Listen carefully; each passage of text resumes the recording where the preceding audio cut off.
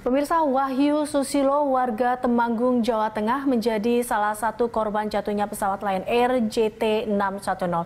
Korban meninggalkan seorang anak yang masih balita dan istri yang tengah mengandung. Rumah duka Wahyu Susilo di Dusun Macanan, Desa Mojosari, Kecamatan Bansari, Temanggung, Jawa Tengah. Kerabat dan sahabat mendatangi rumah duka. Mereka mengaku terpanggil datang setelah mendengar kepastian bahwa Wahyu Susilo menumpangi pesawat Lion Air JT610 yang jatuh pada Senin pagi di perairan Karawang, Jawa Barat. Pihak keluarga masih memiliki harapan adanya keajaiban dan korban dapat ditemukan dalam kondisi selamat.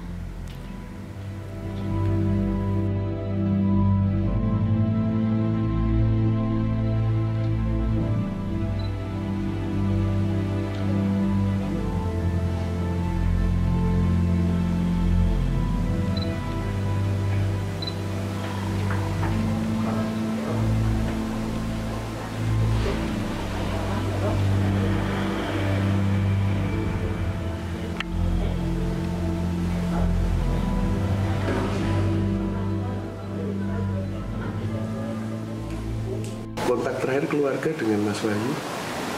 Hari Kamis itu seperti biasa nggak menghubungi biasa itu ke keluarga. Oh, mungkin ada firasat atau tidak ada. Harapannya mendengar mendengar bahwa Mas Wahyu itu ikut dalam pesawat itu gimana Mbak?